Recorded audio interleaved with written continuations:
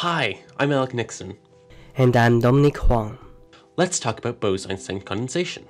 Physicist Satyendra Nath Bose felt that Planck's constant of blackbody radiation, whilst useful, was lacking, as all previous attempts to derive it relied on classical mechanics.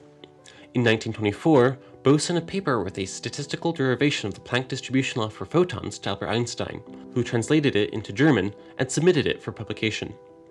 In 1924 and 1925, Einstein published two additional papers on Bose's work, extending it to describe massive particles as well as photons. This combined work, known as Bose-Einstein statistics, is where we get the term boson, which is the class of particle defined as those whose behavior Bose-Einstein statistics describes, which we now know are particles of integer spins. As a result of this new model, Einstein predicted that if the particles in a system cannot cease to exist when their energy is decreased, even if they do not interact, then there would be a temperature at which they would experience a phase transition and condense to the lowest possible quantum state. This is because as the energy of the system is decreased, the number of states is very limited and cannot contain the particles in different states, forcing them all to occupy the ground state. Bose-Einstein condensation or BEC is the phenomenon in which bosons that are sufficiently close together and moving at sufficiently low speed make the transition into the same lowest quantum state. But what is sufficiently close and sufficiently slow? In 1924, de Broglie expressed the wavelength of massive particles as lambda equals Planck's constant over the momentum of the particle and as momentum is equal to mass times velocity, we can say that lambda equals Planck's constant over mass times velocity, which is all just to say that the slower a particle goes, the longer its wavelength will be. Condensation occurs when the wavelength of the particles is in the same order of magnitude as the distance between them.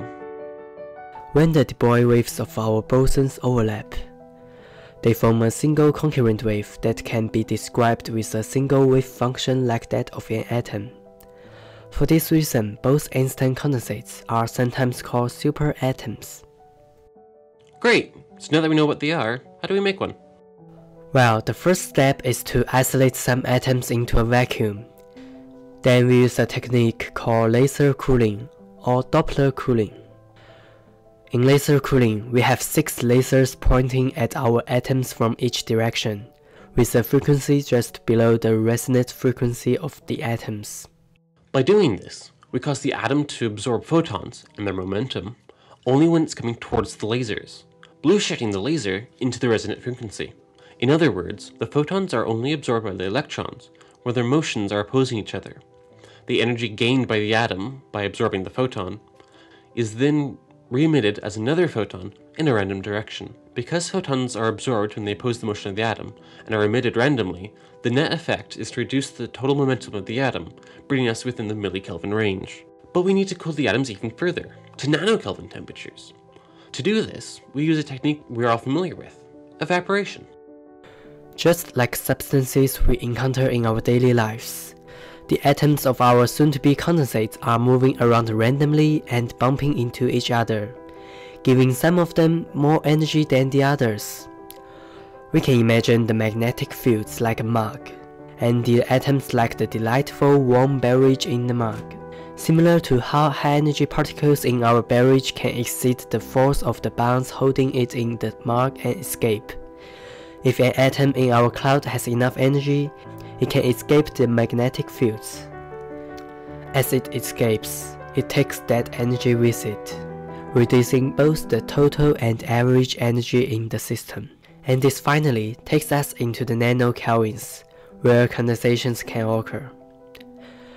Bose-Einstein condensations were first successfully created in 1995 by Eric Cornell and Carl Wieman, and Wolfgang Ketterle using rubidium and sodium atoms respectively, for which they shared the 2001 Nobel Prize in Physics. The successful creation of Bose-Einstein condensates have done two great things for physics.